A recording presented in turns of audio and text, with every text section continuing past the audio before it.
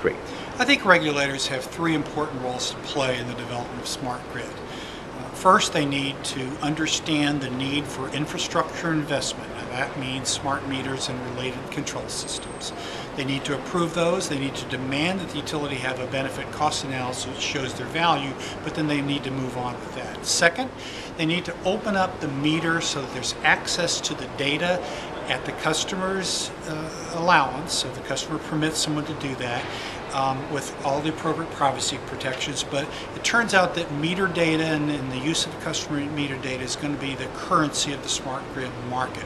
And finally, we need to start moving as a society towards prices for electricity which represent their costs at the time at which the price or which the energy is used. That, of course, means higher prices during peak periods, lower prices during off-peak periods.